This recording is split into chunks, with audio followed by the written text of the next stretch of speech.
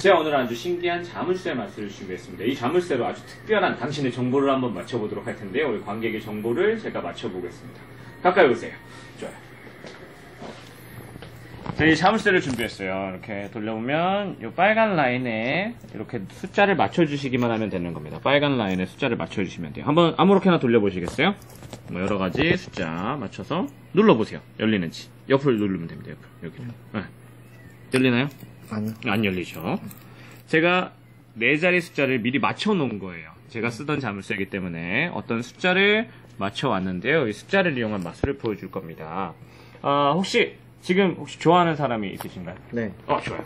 그분의 나이를 생각해 주시면 돼요. 나이. 그분의 나이. 생각하셨나요? 네. 좋아요. 그러면 태어난 연도를 알 수 있습니다. 총 몇 자리가 되겠죠?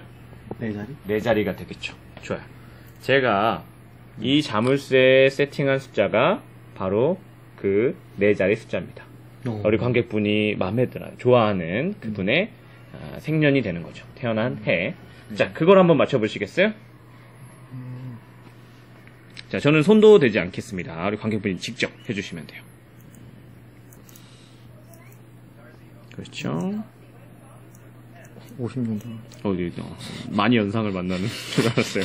개깜했네. 개깜 노랬네. 응. 그렇죠? 이제 옆을 눌러보시겠어요? 그리고 오! 자물쇠가 열리게 되는 겁니다. 제가 정확하게 예언을 하게 되는 놀라운 자물쇠 트릭이었습니다. 감사합니다.